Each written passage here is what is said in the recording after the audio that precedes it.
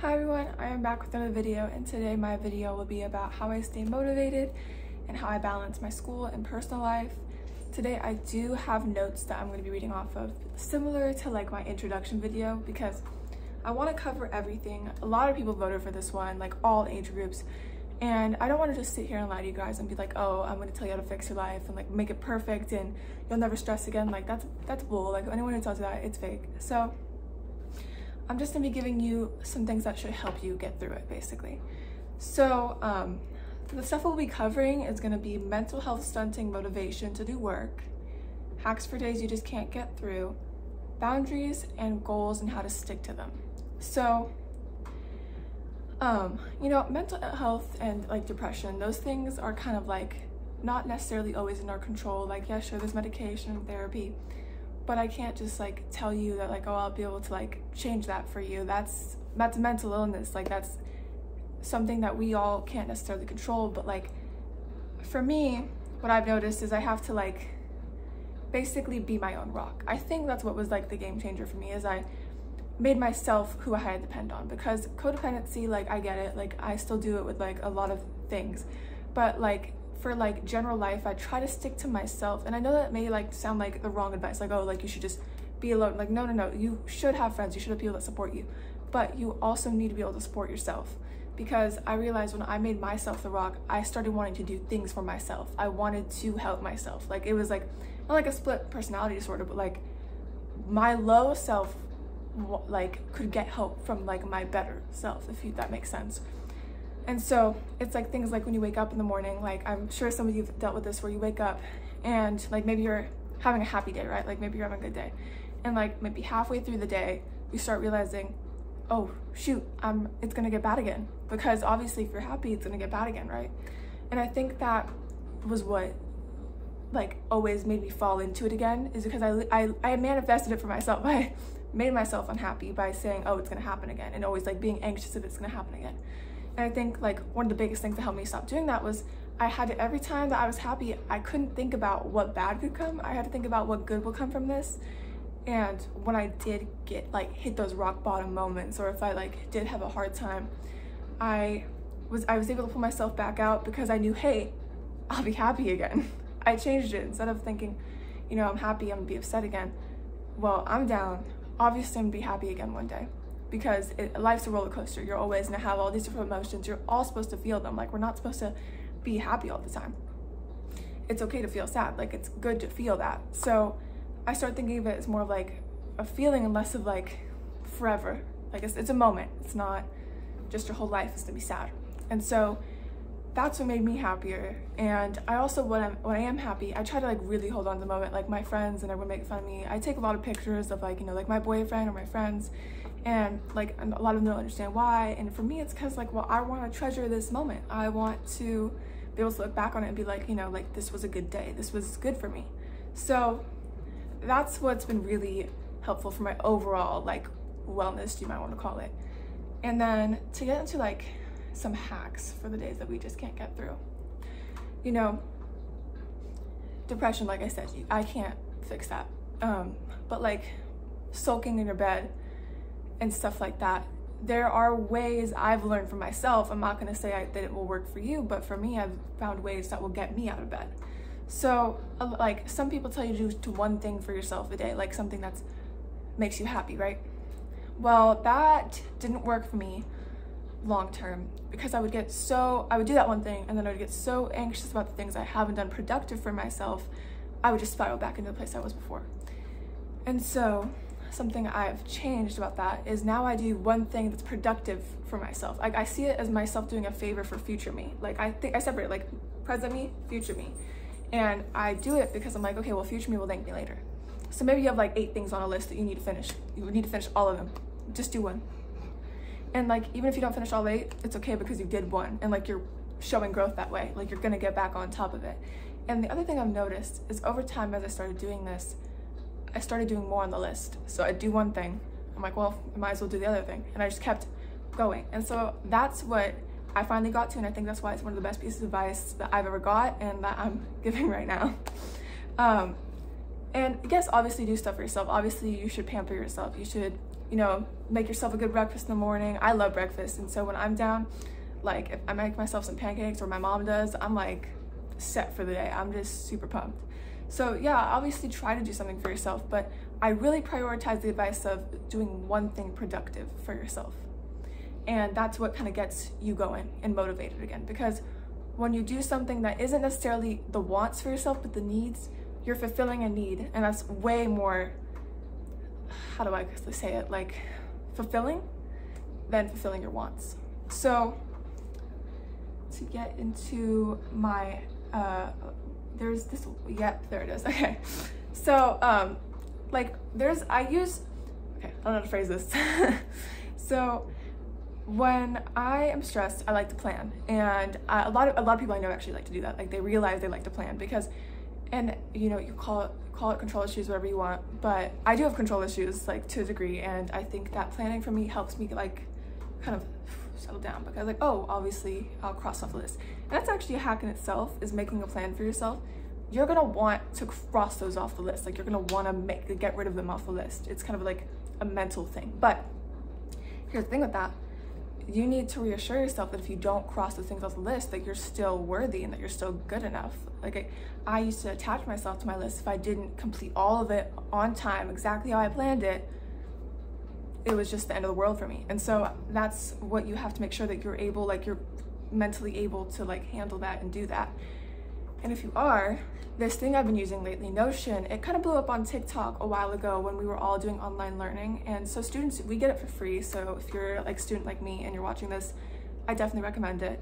Um, but even if you're an adult, this is super handy because it's like you basically get to make spreadsheets for all your different aspects of your life. So I like sectioned it out. Like I have a school life, personal life, career, and I have all these things that I get to plan. And even if I don't cross them off the list, I feel like like a, like a like a weight's been lifted off me because I don't just have to store all that shit in my head. I can put it out there. I can put it onto something, and it helps me get through it. And with Notion, like you get to like decorate it. Like for those of you that just want to have fun with your notes, and it's just really nice. And I've on, I've honestly stayed more on track with it now, but I will be honest with you guys though, like I'm not gonna just say like I'm doing great all the time. Like, you know, with school starting in person again, it's been really weird, the adjustment. And so like these these hacks that I'm giving you, these tips, like they work for me to a degree, but I'll still go into those like places, you know, that was like, um, I can't get out of bed in the day, you know what I mean?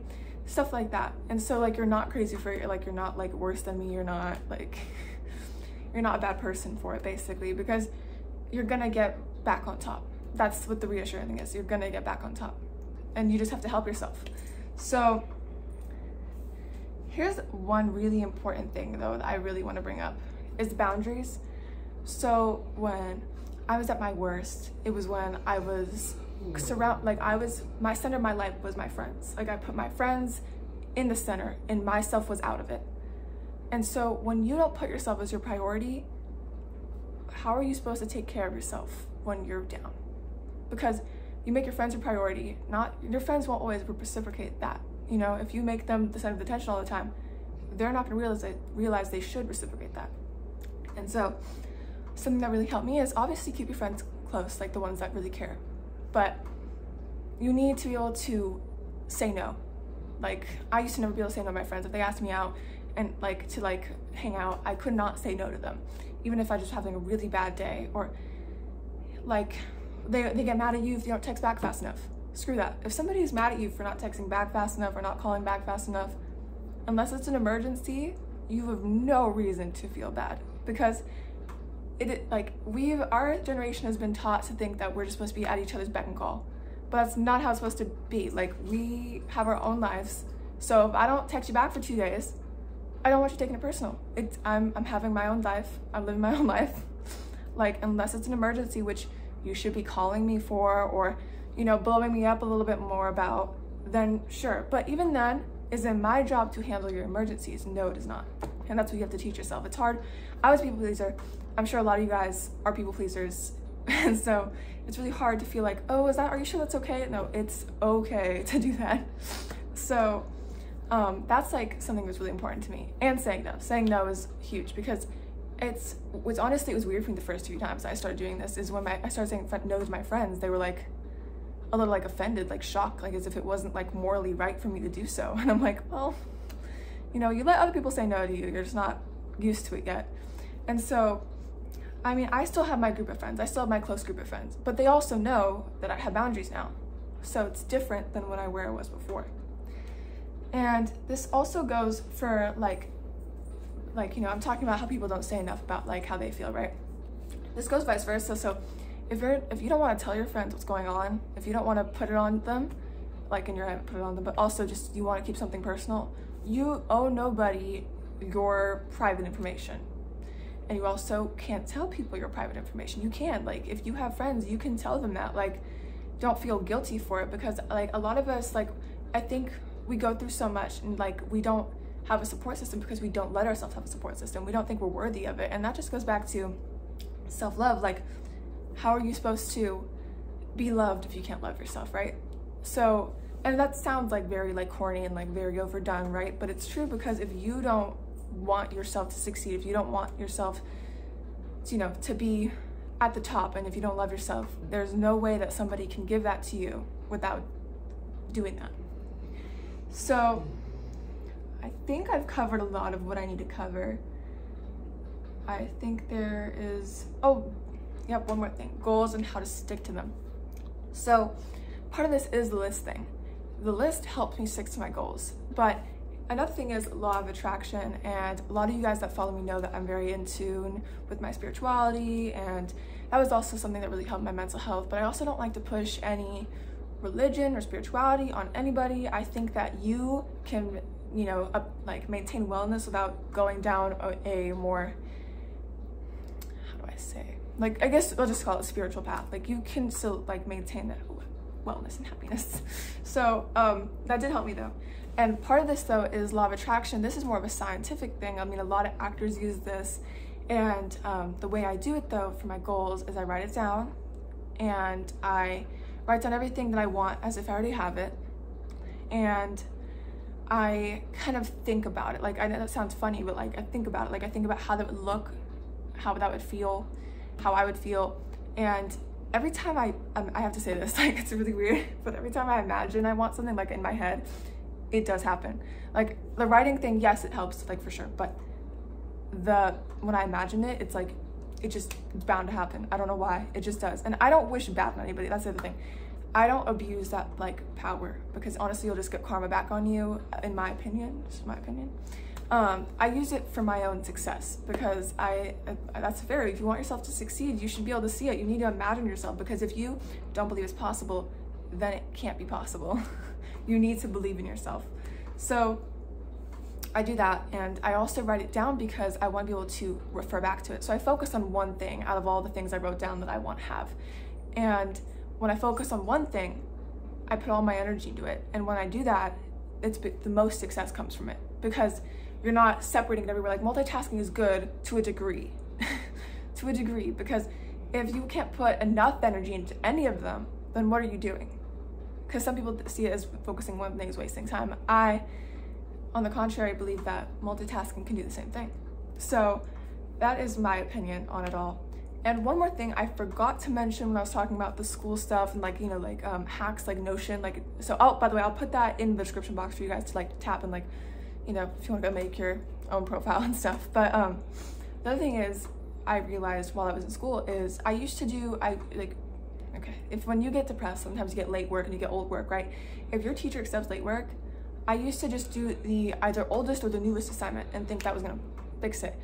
Um, until I realized it wasn't making my grade go up. And then I looked at it and I thought, okay, that was 10 points. This other assignment I left behind is 100 you're gonna wanna do the one with the most points because the one with the most points is gonna be the one to bring your grade up the most. And yes, I obviously, I should be telling you guys do it all. Okay, but do we always have time to do it all? No, we don't. So I say prioritize the one with the most points. Look into it. Like if you have school loop or whatever, ask your teacher which one has more points, stuff like that. It will change, it will change everything. It will make you far less stressed than doing so like let's say five assignments versus one.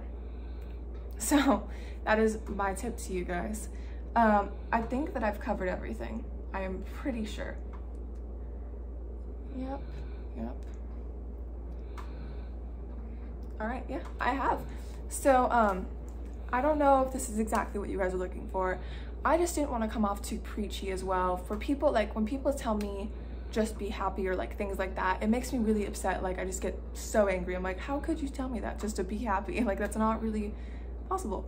Um, and I get it. Like, I also even get it if you just blow this video off too. Like, wow, she's like, you know, like, how am I supposed to do that? I get it. But I think that maybe just try to go into it with an open mind of what I just told you guys. So, um, I tried my best. I hope you guys like this video.